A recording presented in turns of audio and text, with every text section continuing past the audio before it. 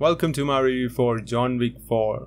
This was an amazing experience. We got more of what we asked for. Amazing, ridiculous action sequence. In what we can consider a finale to the John Wick movie series. If you like the last three, this is a must watch. With each movie, they ramp up the levels of action as they should, and it does go to some crazy levels like straying more and more away from realism, and this movie is no exception. They went really crazy with all the sequence. I was vibing with it like I did with the previous one. Still, there were one or two moments in this movie where even I was kinda pulled out. I think your enjoyment is gonna rely on your expectation. Like this will depend on each person, like how crazy is too far for you. The world building elements from 2 and 3 was great in my opinion, but in this, that part felt less interesting. Most of the non-action sequence felt weaker compared to the previous movies.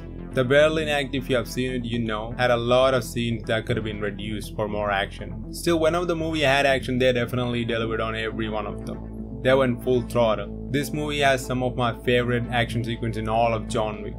The up-down camera sequence, that was so good. I was like, give me more of this. That was so well done. The team still proving that they still got more in them after three movies. We had everything guns, blades, cars, bike, even a dog was given some kill, kill count. Another thing they did different and better is the settings, the settings where the fights takes place. All of it felt like it was chosen for a reason. The background had a bigger part for fights in this movie. Some of the time they involve movement in the background, I'm not gonna say why. The movie does feel like a finale, well it was confirmed to be the last movie at least for a while and the movie focused on resolving what Parabellum was not able to, and I think they did a good job in resolving everything. And the movie gives us an open ending, or at least I felt like it was. I understand why they went for this style of ending. With this, the story feels like it's the end, and the open ended nature leaves some base for creating a sequel if they want to. The old cast was great, as always, rest in peace, Lance. And the new characters were also good. Donnie Yen's character Caine was awesome. His character being blind and still doing some crazy shit.